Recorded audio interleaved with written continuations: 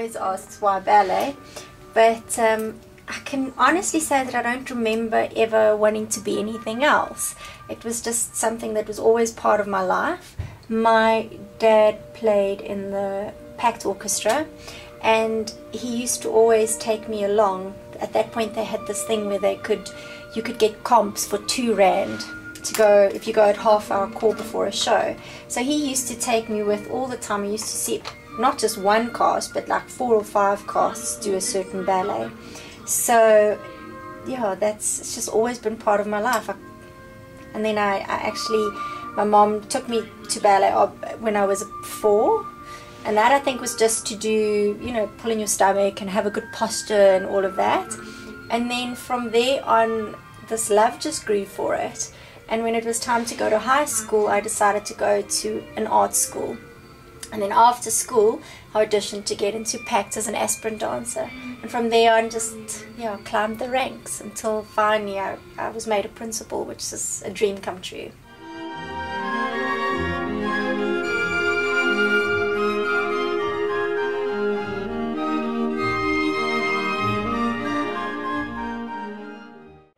Can make an audience member feel something, then you've achieved your goal. And I think that is what distinguishes between um, a de ballet member and a principal is that you can, the audience feels something when you're dancing.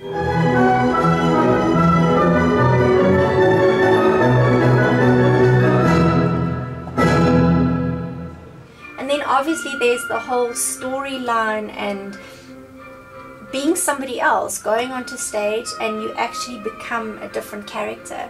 You're taken away from your everyday life and you, you put into a role, something you must probably like, for instance, um, a role like Carmen. It's so not my personality, so that's fun, as I can do that for an evening and then go back to who I am. So I think that's the big attraction to me is, yeah, escaping from everyday life and becoming a different person with a different character. My very first Giselle, which was actually the very first principal role I ever did, I remember like in your mind you you have a feeling about what it must be like to be the principal of a show or when you come out or when it's just you on stage obviously you've done a lot of solos but when it's your very first ballet where you're the principal um, I had all these I imagined it a certain way and you dream about what it would feel like. And I I can remember my first Giselle it, it was it was an unbelievable experience. I really enjoyed every every moment of it. Even if something wasn't perfect just being in that moment was unbelievable. To be very confident in yourself and you have to be very positive. You can't get to a step and think oh I don't think it's going to work because it won't work. It definitely won't. You have to be very positive in your mind that you've worked hard enough and long enough on these steps and they will work.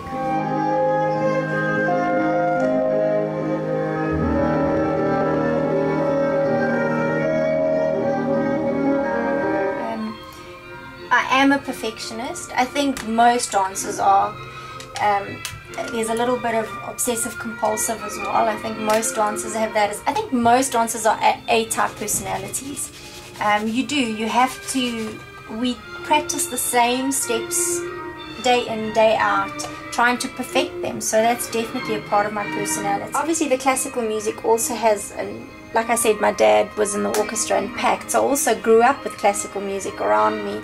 And it it inspires you to do incredible things and it inspires you to move a certain way and tell a story with your body. Um, music like Prokofiev's Romeo and Juliet is unbelievable. Sometimes the music is so amazing you think I should just actually be standing still and not moving because sometimes I get the feeling I don't want to spoil the music because it's so beautiful. But um, it does. The music is what takes you away to a different place.